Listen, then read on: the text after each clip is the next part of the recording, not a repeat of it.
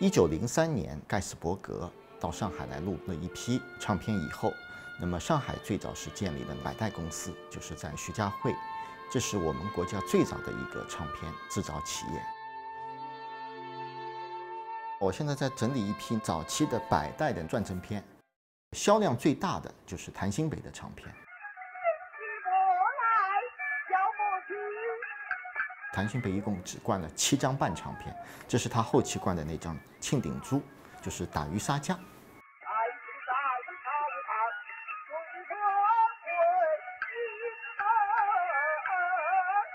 你喜欢的唱片，可能每一个人有不同的类型，他可能喜欢流行歌曲，他喜欢是古典的。但是呢，我可能更关心的是这个唱片里边的故事。你如果是对这个唱片的背景或者它的制作背景有了解的话，哎，你会觉得非常有意思。像这一张，这个是当时的默片明星杨奈梅灌制的《乳娘曲》，因为当时还是五声片时代。那个电影就是《良心的复活》在上映到一半的时候，杨奈梅登台演唱这首《乳娘曲》，当时是轰动一时的。这个当时是一九二六年，这是我国第一首啊电影歌曲。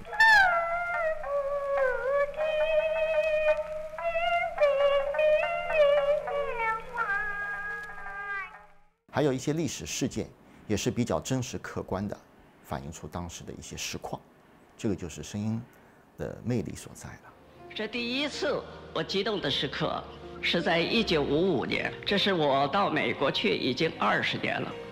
我到美国去的时候，心里头只有一个目标，就是要把科学技术学到手，而且要说我们中国人可以赛过你美国人，达到科学技术的高峰。